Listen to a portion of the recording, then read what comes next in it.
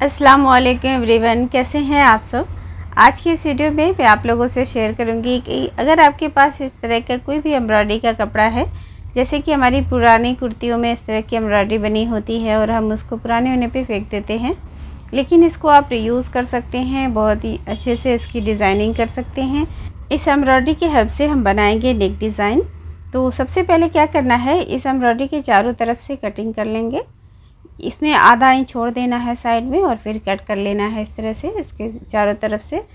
इसकी कटिंग कर लेंगे और मेरे पास ये कुर्ती का एक पीसेस था तो मैं सिर्फ़ एक टुकड़ा दिखा रही थी, जितने भी पीसेस हों, आपके पास इसको कट करके इस तरह से रख लेंगे और इसमें हम थोड़े थोड़े से नोचेस लगा देंगे ताकि ये फोल्ड करने में आसानी रहे। तो यहाँ पर देखिए, इस तरह से इस पर कट लगा लेना है और इसी तरह से जितने पीसेज और बचे हैं, उसको कट करके इसमें भी इस तरह से नोचेस लगा के रख लेंगे।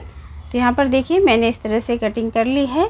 अब मैंने लिया है पेपर ग्लू यहाँ पर पेपर ग्लू को इस तरह से लगा देना है चारों तरफ़ इसके और फिर इसको फोल्ड करके स्टिक कर देंगे इसके ऊपर। इस तरह से मैंने इस पर लगा दिया है। अब इसको देखिए, इस तरह से फोल्ड करना है। ऐसे करके इसमें फोल्ड करते जाएँ। अगर आपके पास पेपर ग्लू नहीं है तो फैब्रिक ग्लू जो आता है वो भी लगा सकते हैं। इसको मैंने बस एज ए टेम्प्रेरी इस तरह से कर लिया है, क्योंकि इसके बाद इस पर हमें फैब्रिक ग्लू लगा के स्टिक भी करना है।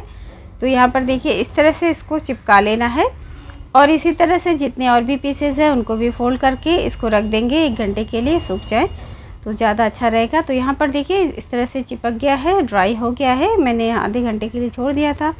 अब ये मैंने कुर्ती ली है, इसका मैंने गला ऑलरेडी बना कर रखा है। तो इस तरह से बोट नेक बनाया है मैंने, इस पर डिज़ाइन करूँगी। आप अपने हिसाब से कोई सा भी डिज़ाइन इस पर बना सकते हैं। तो यहाँ पर देखिए, इसको क्या करना है? ये मैंने लिया है फैब्रिक ग्लो ये काफ़ी स्ट्रॉन्ग होता है स्टिक हो जाता है अच्छे से इसमें कपड़ा वगैरह। तो यहाँ पे मैं इसके चारों तरफ़ इस तरह से इसको लगा दूँगी। इसको लगा लेना है अच्छे से। बीच में भी इस पर इस तरह से लगा दीजिए प्रॉपरली अब इसको मैं गले के बिल्कुल बीच में लगाऊँगी। बिल्कुल सेंटर पे आप अगर बिगनर्स हैं तो पॉइंट बना लीजिए। इस तरह से यहाँ पे लगा के हल्के से हाथों से प्रेस कर दें।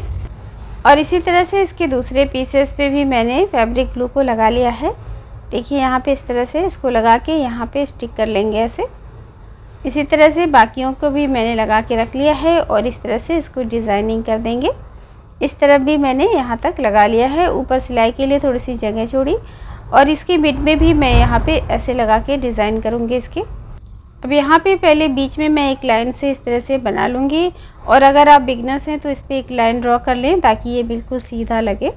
इस तरह से पॉइंट बना के लगाएँगे तो ज़्यादा आसान रहेगा। तो देखिए यहाँ पर मैंने इसको लगा दिया है। इसी तरह से इसके साइड में भी लगाऊँगी। यहाँ से देखिए इस तरह से सेट करना है मुझे। इसी तरह से मैं इसके भी पीसेस को और सेट कर दूँगी। तो जो बीच वाली लाइन है ना, उसे थोड़ी सी छोटी रखनी है दोनों साइड में।